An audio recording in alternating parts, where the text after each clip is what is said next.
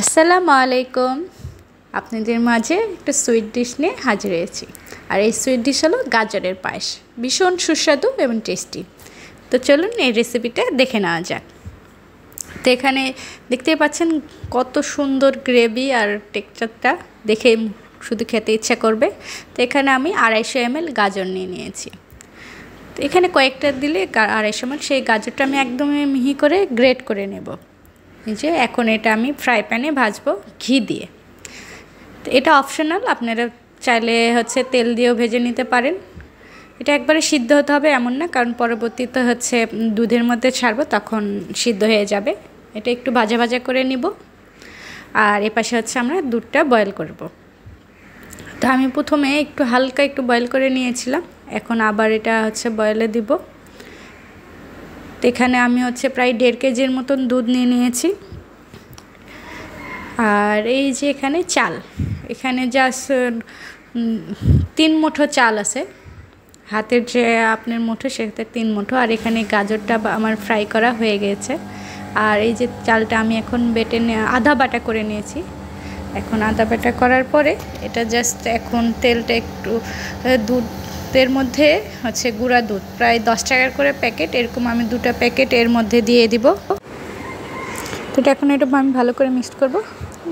আপনারা চাইলে আরও বেশি দিতে পারেন, কোনো অসুবিধা নেই। বাট আমি দেড় কেজির মধ্যে এরকম দশ টাকা দামের দুটো প্যাকেট দিয়ে দিয়েছি। আপনি যে কোনো দুধ ইউজ করতে পারেন। গুঁড়া দুধ, গুঁড়া দুধটা দিলে টেস্টটা অ্যাকচুয়ালি ভালো আসে। তো এখন এর মধ্যে হচ্ছে চালের আদা বাটা যে চালটা ছিল, পোলার চাল, চিনি গুঁড়ো, সেটা দিয়ে দিলাম। কিন্তু অবশ্যই মাথায় রাখতে হবে চালটা দেওয়ার পরে হচ্ছে যতক্ষণ না বয়েল আসে ততক্ষণ এটা অনবরত নাড়তে হবে। তাছাড়া চালটা নিচে গোটা লেগে যাবে। তো এই যে এখন গাজর যেটা ভেজে রেখেছিলাম, সেটা এর মধ্যে দিয়ে দিলাম। এখন এটা ভালো করে মিক্সড করব। কিন্তু যতক্ষণ না বয়েল আসবে, ততক্ষণ যদি না নাড়াচাড়া করা হয়, নিচে চালটা একদম গোটা হয়ে যাবে আর খেতে একদমই ভালো লাগবে না।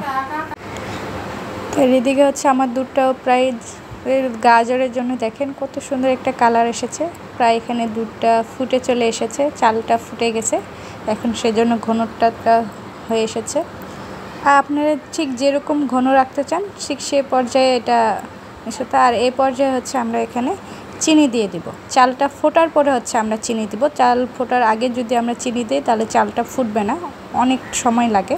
সেজন্য চালটা ফুটে গেছে, সে পর্যায়ে সামান্য একটু লবণ দেব। এটা লবণটা অপশনাল আপনারা ইচ্ছা করলে দিবেন, না হলে না। তো আমার রেডি চিনিটা মিক্সড হয়ে গেলে, এই যে আমার এখন চুলাটা বন্ধ করে দিয়েছি। জাস্ট এখন পাত্রে ঢেলে নেব। ঠিক এরকম। আপনারা চাইলে আরেকটু ঘন করতে চাইলে আরেকটু ঘন করতে পারেন, কিন্তু এটা ঠান্ডা হওয়ার পরে আরেকটু ঘন হয়ে যাবে।